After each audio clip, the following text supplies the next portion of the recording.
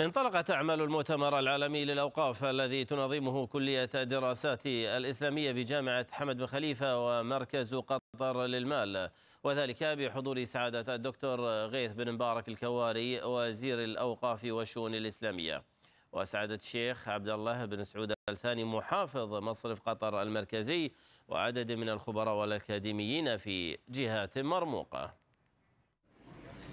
على مدار ثلاثة أيام تتواصل أعمال المؤتمر العالمي للأوقاف تحت شعار قيادة التطور والتأثير الاجتماعي والاقتصادي واستراتيجيات الإدارة والقضايا القانونية والحوكمة والوقف النقدي ودراسات الحالة القطرية. المؤتمر يناقش المواضيع التي تندرج ضمن إطار الأوقاف وكيفية تنظيم العمل في هذا القطاع. إحنا وزارة الأوقاف والشؤون الإسلامية يهمنا كثير هذا الموضوع على اعتبار انه موضوع اصلي في اختصاص وزارة الاوقاف والشؤون الإسلامية.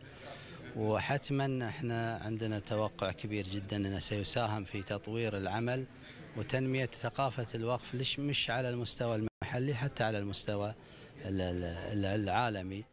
الأوقاف كانت ولا زالت تشكل ركنا مهما من أركان الاقتصاد الإسلامي في شتى القطاعات ولها الأثر الواضح في زيادة الدخل القومي واستقرار الاقتصاد وتوفير فرص العمل. لهذا تحرص دولة قطر على إحياء هذا الإرث الإسلامي وعلى أن تكون رائدة في مجال المؤسسات الوقفية.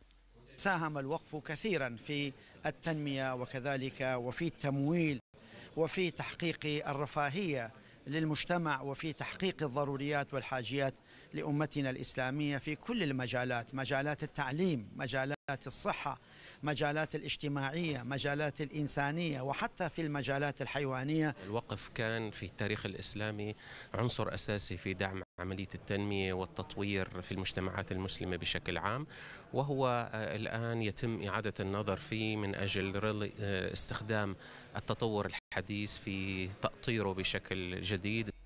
من خلال مجموعة الخبراء والباحثين والأكاديميين في مختلف الجهات المشاركة سواء من دولة قطر أو من خارجها يسعى المؤتمر إلى الخروج برؤية تواكب العصر وترقى لتكون اليوم بأهمية الوقف في التاريخ الإسلامي.